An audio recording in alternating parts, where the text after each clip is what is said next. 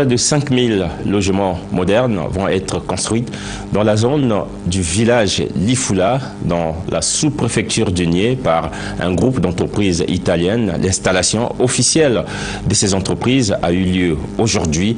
Voici donc le reportage d'Herman Babiessa.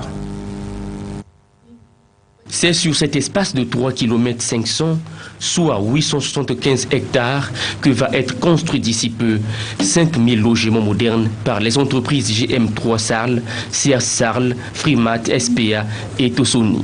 Un projet qui intervient la politique du président de la République, c'est de créer et de moderniser les grands centres urbains dans le but d'améliorer les conditions de vie des populations. La cérémonie de ce jour, ici à Lifoula, marque l'installation officielle des entreprises italienne retenue pour l'exécution de ce projet. Aussi une fierté pour la sous-préfecture d'Igny.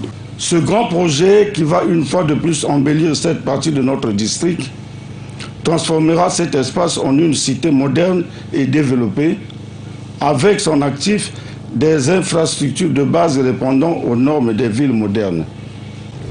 Le district d'Igné est l'un des plus heureux des districts de notre pays a bénéficié de plusieurs réalisations et projets, gage d'une volonté manifeste, celle de son Excellence M. Denis Sassou Nguesso, président de la République. Tintele, une ville naissante, pour le maître ouvrage délégué, son plan de modernisation obéit aux nouvelles exigences. La modernisation déjà amorcée de Kintele, impulsée par le complexe sportif La Concorde, l'université Denis Sassou Nguesso, le viaduc et autres projets en gestation sont destinés à faire porter à cette ville naissante une responsabilité dans l'urbanisation de cette partie du pays.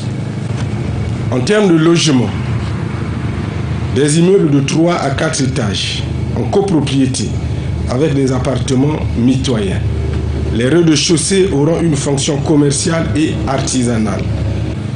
En termes d'infrastructures scolaires et sanitaires, une école primaire de 11 salles de classe pouvant accueillir chacune 24 élèves. Devant quelques membres du gouvernement dont Jean-Jacques Bouya, ministre à la présidence de la République, chargé de l'aménagement du territoire et de la délégation générale aux grands travaux, le sous-préfet Digne a demandé aux autorités compétentes de régler les quelques problèmes liés à l'expropriation des propriétaires terriens. Notons que la réalisation de ce projet prouve clairement que la diplomatie économique prônée au plus haut niveau entre les deux pays est en marche.